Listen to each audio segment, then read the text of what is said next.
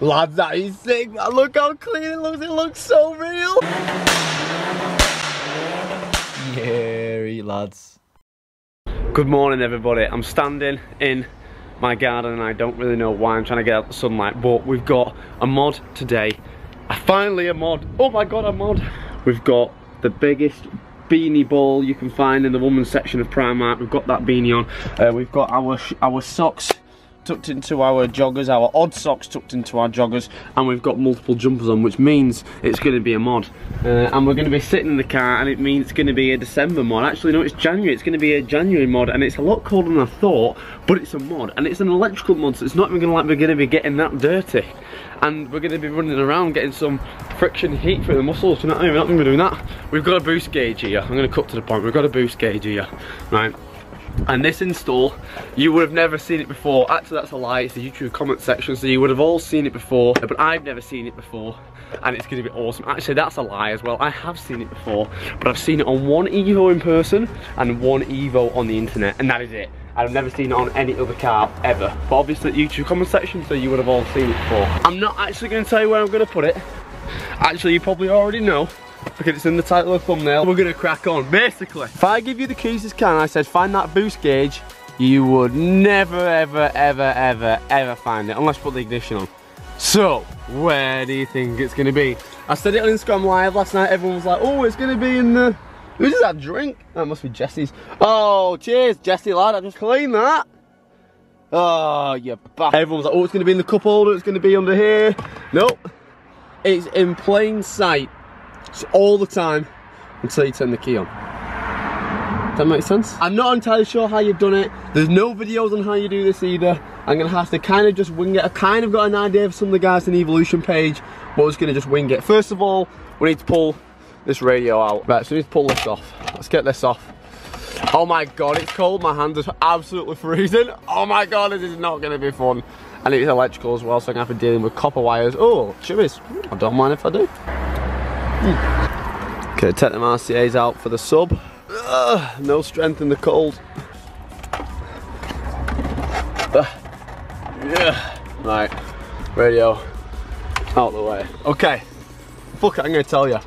This is the clock, and it's a digital clock, okay? We're gonna put the boost gauge in there instead of the digital clock. What we're gonna do is we're gonna get this boost gauge, and we're gonna fully take it apart so you can just see the motherboard just see the digits and the, and the, the motherboard and like the digital thing. And we're gonna put it where the clock is. So instead of saying like 1543, it'll say the boost and it'll go up and down. And it's gonna be nuts. So I've took these two screws off and it looks like this whole blue plastic bit is just popped in. Now I've just popped this one out there, the middle one, and they're all starting to come. So I just think you need to be a little bit pers persuading, persuade, persuading, persuade, yeah, you know what I mean. But it's just difficult because it's plastic and I just don't want to break anything. Something just flew off. What was that? I don't know what it was. Really, you know, I really need like a plastic bojo tool not to scratch anything, but I've not got one, so screwdrivers where, where it's at. There we go, so it's coming there. There we go. Because I had to pull the bolts off around the, uh, the, the, the clocks around, the dials around. Here it is, so let's have a look at the back of this. Now we need to get out the clock. It looks like it's just uh, pressed on there and there. Okay, so there, this is the clock itself. Now it's literally just holding my four tabs, so I've just pried these four tabs out the way. I've got one more to go to now, just this little one. So once them four tabs are out, that should pull out. Now that is the clock. I think we're just going to be gluing the other one to there. So obviously when you look through, oh, I've just lost our buttons. I need to go and pick them up. Hang on. So that's where the clock would sit through there. See that little smoked out thing? That's where the clock would sit. Now, we need to take apart a boost gauge. So this is a boost gauge. I'll link it to where I got it from on eBay. It's uh, it's only a little one. I can't remember the millimeter, but it's only a small one. I'll put a link in the description below. Uh, we need to take that apart. So what we're going to do is, first of all, we're going to spin this head off, and there should be a spring in there. So we'll just move them out of the way for the time being.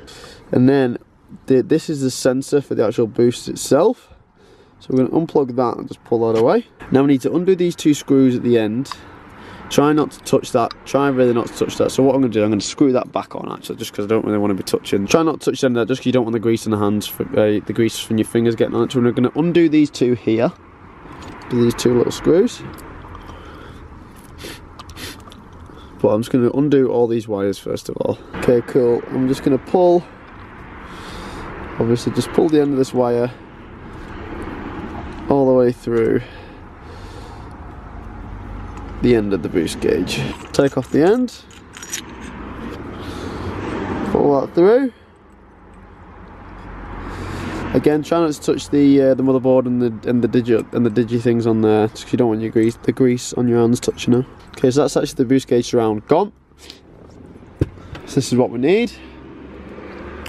Now all we're going to be doing really is very simply, that's where the clock goes, and we're going to literally simply just put that in there. We're to have to Dremel this the the see the curves. So the curves here, we're going to Dremel them flat so it sits nicely in between there. So we're to have to Dremel that bit flat and Dremel the bottom bit flat. And then what we're going to do is we're going to slip it in inside there and basically just glue the top and glue the bottom. Try and get it central and try and get it straight as well. Okay, so to cut this down, I've actually went to Euro car parts and got this like little mini mini drill Dremel set. I think it was like £10, £13 or something. And you get loads of attachments in here. So the plan is, I've got this plugged in you need to be very careful because if I take too much off then I'm going to have to order a new boost gauge so I'm going to have to go a tiny bit at a time Dremel them, bits, them two bits flat now there is a little bit of an indent here which I may have to Dremel off see the little indent literally just there which is causing that not to be flat? You can probably just see there. I'm probably going to Dremel that down and then it provides a flat surface then for that to glue to. Uh, I've just been speaking to Darren he's a guy at the Evo page who's done it. He's saying keep that little indent there and just Dremel an indent into the boost gauge and that way it'll keep it straight and it'll stop it wobbling about which is a really good idea. Yes, I'm just going to go a tiny bit at a time just, just making sure it's flat.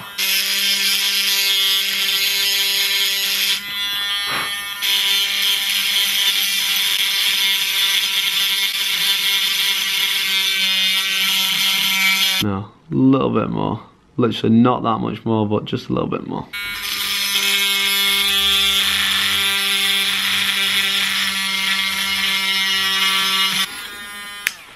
So the last thing to do really is just put an indent with a cut-off wheel and then we're pretty much done I think. I think we're pretty much all sized up.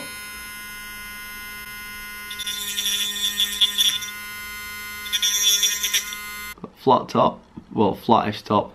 Probably just need to taper this side down a little bit more. Flat bottom, indent in the bottom and it should fit straight in now. That's slotted pretty much straight in. Let's just find that again but sit just like that. So I'm going to lay it up with glue now, push all the way down, and it's sitting just like that. Hopefully that is straight on the other side. Let's pick it up and have a look. So we have a look at that now. I'm not sure if the camera can see it, but that is pretty much bang on. So we're going to get some glue in, glue it down. We've got our best friend, Gorilla Glue for that. Gorilla Glue is the best thing in the world, literally. Big, good, decent layer on this side. Same to the other side, try and be careful. Right, slide it in.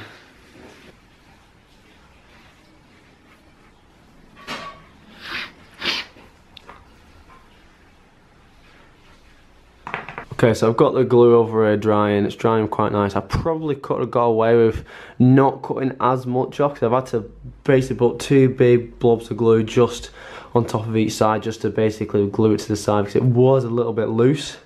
But it should be okay. Hopefully you can't see all the glue underneath when it's smoked out. Hopefully not. But for the first time, it's not too bad. So I'm going to let that dry for like five, five minutes so. The last thing I want is literally that just pull it straight off as soon as I try and cut some wires onto it. Right, get back outside. So first of all, we're going to get this wired up. So it's basically, this is like a standard boost gauge. So you got, you need power for that, a ground for this, and then that goes to the sensor, which is this Similar sort of thing, so the white will connect up with the green there, and obviously this sensor needs uh, live and a ground as well. So what you can do is you can usually just tie them up two together, tie the, tie the red and red together, black, and black together, basically tie all the wires together and then just lengthen the ground and lengthen the positive depending on where you're putting it. Cut the vacuum line going to the turbo timer, T-piece it, T-piece it off to this sensor and then just obviously just wire up the sensor behind there somewhere and obviously just use the same positive which I'm going to use the remote off the radio and the ground which is any of those bolts around there around that metal that'll be good as a ground as well and then pretty much done there to be fair with you Now I've actually lost my crimper, which is really annoying, so I'm gonna have to just cut the wires with a pair of snip, just do the old tape round with some electrical tape, I'm gonna have to just do that for now. Now for the positive, uh, this is the remote coming from the radio, I've just untied it because that's going from the remote to the sub, so that is going to power the boost gauge. Okay, so I've actually located everything, there. there's a spare boost cable down there, uh, so we actually don't need this space here now, so we can actually start putting stuff back in that's good. Nice bit of wire length there, so let's tie them two together. Okay, good, so the two positives together. Uh, and then we're going to put the remote on to them. Okay, so all them have got power now. Okay, which is good, so we're going to tape them up. I've not got any crimp, I've not found my crimper, but when I find my crimper I'll do that properly, but I probably won't because I can't afford taking it all off again. Okay, so the actual boost gauge itself has got power. No, it's not because I've not got the radio in, so I need to put the radio in. Okay, so now the boost gauge has got power and a ground. Uh, as long as the radio comes on. So we're going to turn the ignition on and that boost gauge should light up. Now I'm not sure how it works. It should just read nothing because I know it's not got a sensor in. But let's see. Oh, there we go. Oh, it is working. Okay, it, it's because the radio wasn't on properly. Okay, so the boost gauge is there, that. How sick does that look? so obviously on my Swatch it's not reading any boost at the minute. Lads, that is sick. Look how clean it looks. It looks so real. right, let's turn the radio back out, plug up the boost gauge, and let's go for a spin and see what it's like when it's driving. But oh my god. Yeah, buddy. Let me tell you. Let me fucking hear you. Okay, I've had to lengthen a couple of wires uh, and I've actually used crimps. I found that this is actually crimping them pretty well, so I'm just using the crimps with them instead. So I've crimped that and then taped it just in case. so I've lengthened that positive wire now. I'll probably just still keep the ground up there, but because I weren't getting enough clearance, so I have to lengthen the positive wire uh, and we should be good. Okay, so all the power cables in, I've extended that wire, all the power's working, the boost gauge is turning on. All we've got to do now is just hook up the boost. So the sensor is here. Uh, this It comes with one of these wires, I'll use these for now. These are okay. Uh, I wouldn't recommend using these really under the engine bay because the engine bay gets hot. Uh, and then these and oh it gets cold and hot all the time. And this this kind of like it's kind of like plastic. So use them on the en engine bay they'll get really soft and really hard constantly. And they do usually like burn or snap. So I wouldn't really use these outside the engine bay but they're okay inside. So I'm just going to feed it through here. Uh, cut that vacuum line going to uh, well between the turbo timer and the intake manifold. And we're going to bang in this little T-piece but I bet I've lost it because of course I need it now so I've lost it.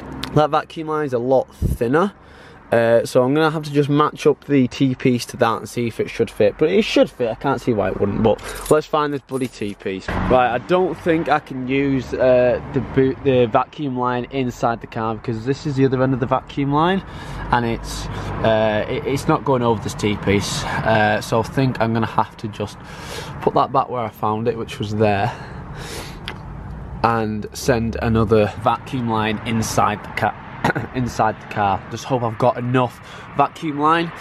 Okay, so we got that T-piece uh, off the engine bay there. Uh, another T-piece. Now, I've got loads of different vacuum lines, loads of different sizes, but not that many adapters. So I'm going to have to be pretty picky of which adapter I use and where. Uh, some of the wires will go over that one, but like some aren't long enough. So this black one would be perfect because it actually slots easy over easily over this one um, but I'm just not sure it's going to be long enough. So what I'm going to do is we've got the trusted coat hanger uh, we're going to push the coat hanger through uh, tie a vacuum line to it pull it out and see how much room we've got on the other side. I really want to use that black one because it's black. I don't really want to be mixing colours because this is red.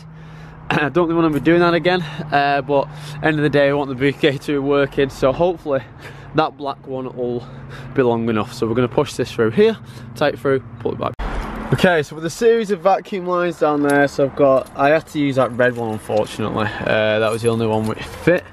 But let's see if it's actually getting a boost reading now. It's so cold guys, obviously I'm going to tidy all that up in a minute. So I've got the cream wire going to the red wire and the red wire going into the, uh, and one of the solenoids at the front. Okay, so the boost gauge is there. Right, so it's reading 0.1, let's start the engine. Got bloody immobilizers man. Fucking hell, Lee. Sort yourself out, man. Got it in gear from before.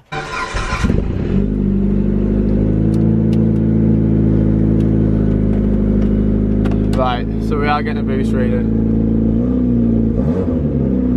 Now they are showing different readings, so this is saying minus 0.6. It's saying 0.8.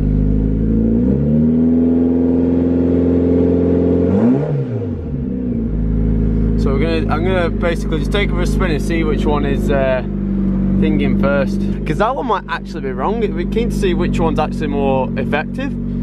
Uh, the one going through the electric or the one going pretty much straight just through the vacuum. But let's tidy these wires up and we'll see. Right, we're gonna take for a quick spin, make sure it's boosting fine. I've just left the vacuum lines uh, loose down there, so I've got to be quite careful to be honest. So I've had the car warming up for about five minutes and oh my god, it's nice in here. It's been so cold, so goddamn cold. Right, we're gonna do a pull here from third. I'll keep you keep an eye on that, guys. I'll keep an eye on the. Uh, 1.6. I think this is off because that stays at 1.6 all the way through, and this one drops off and doesn't have a fucking clue what it's doing. Let's keep an eye on that.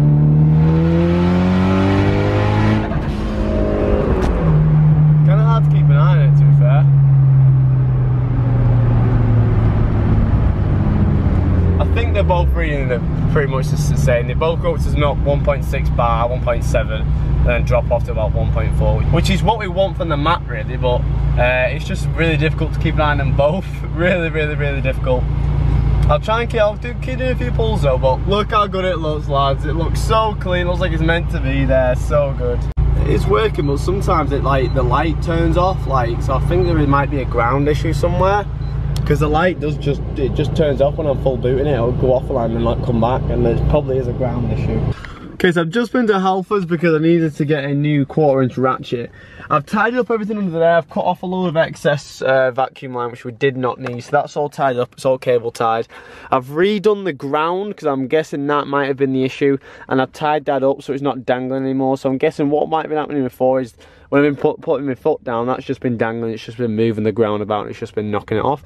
Hopefully it doesn't happen on the way home, but there's only one way to find out. Okay, so we're gonna roll in from third, that's when it would that's when it would usually do it, let's see.